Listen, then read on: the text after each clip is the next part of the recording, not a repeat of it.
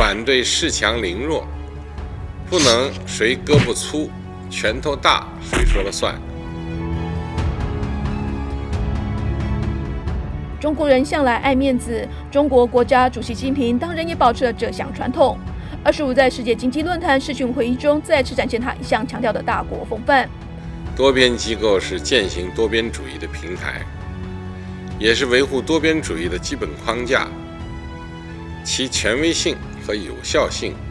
理应得到维护。不过他面子摆得十足，还用反对恃强凌弱的说法来暗批美国。我驻美代表肖美琴隔天就在推特上转发这段话，并反讽表示自己会引用他说的话。肖美琴的发言引来日本媒体关注，日本商业新闻赞叹他的敢言作风，更称他为敢呛习近平的美貌台湾驻美大使。而对于习近平的发言，显然也有不少网友不满，纷纷在世界经济论坛的推特上大肆嘲讽。有人指责这根本是恶龙要求所有人当素食主义者，还有人要中国想想西藏、香港还有维吾尔族人的感受。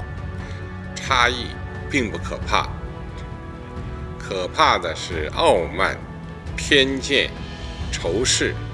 可怕的是想把人类文明分为三六九等。可怕的是把自己的历史文化和社会制度强加给他人。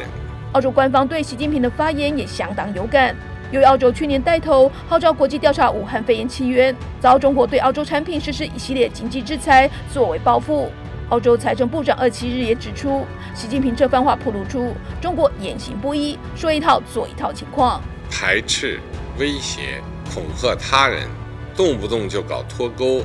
断供、制裁，人为造成相互隔离甚至隔绝，只能把世界推向分裂甚至对抗。